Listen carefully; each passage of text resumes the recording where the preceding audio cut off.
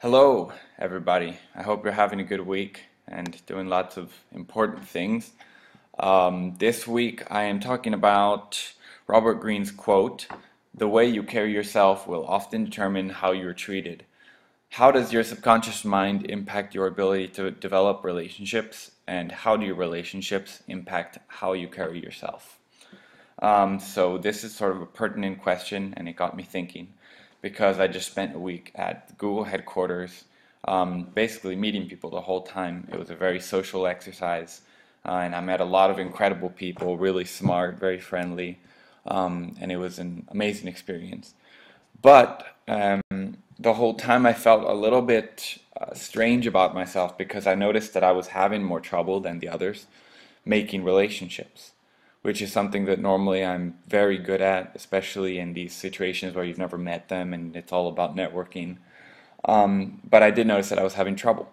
And I think this came down to um, how I was carrying myself and how I perceived others to be carrying themselves. And um, I attributed this to what Napoleon Hill talks about in his book subconscious thoughts. So, sort of negative thinking that's in the back of my head, or I don't consciously think about it.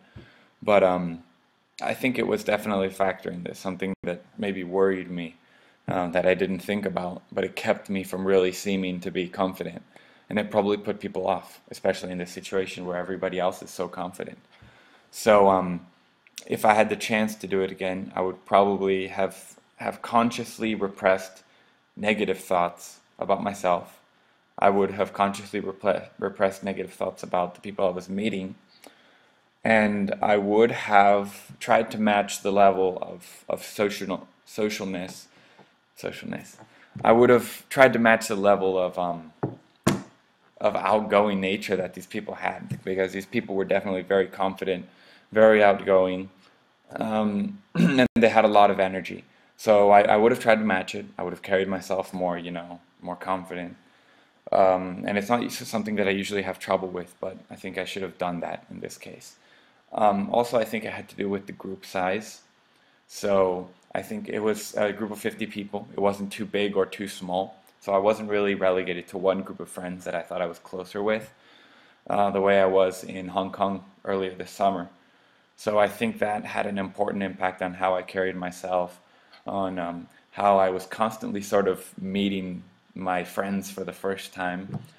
So um, I definitely it was a challenging social um, environment, but definitely enriching. It was really fun. We met a lot of people, and uh, we all were great friends by the end. So um, happy story this week. I hope you're all doing well. Uh, with that, I will leave you. Bye bye.